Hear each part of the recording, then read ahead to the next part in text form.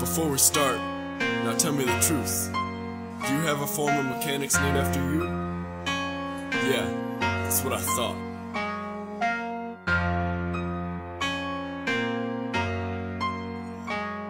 I was born January 4, premature. Came in early to give the earth its cure. Our minds were dumb, the planet was numb. We just read the Bible while we sucked on our thumbs. He taught all around the 17th century. You need an example? He taught alchemy. He was a physicist, astronomer, mathematician. Was a key figure in the science revolution. Galileo, got nothing on you. Galileo, got nothing on you. You know what they all said to him? They said that he was crazy. They just said it all out of obvious jokes. He went days without food, cause he got some attitude. He put a needle in his eye and stared at the sun too. Isaac, you so crazy. Isaac, you so cool. You should be my teacher back here at my school. He discovered gravity, studied at the academy. He also built the first reflecting telescope fantastically.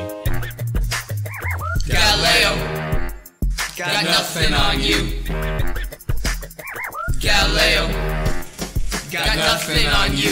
After he was dead, rumors spread, everybody said he was the greatest genius that ever lived, cause in his head he thought things that nobody else thought before. Everyone eventually looked up to him, he was adored. He studied different things such as the speed of sound, wondered why things like apples just went and fell to the ground. Went to Trinity College where he developed calculus and studied other complicated stuff with no accident. Galileo, got nothing on you.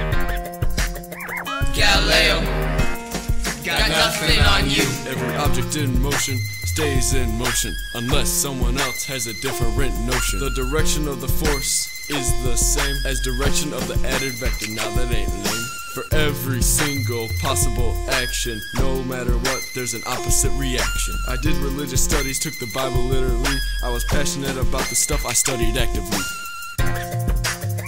Galileo, got nothing on you. Galileo,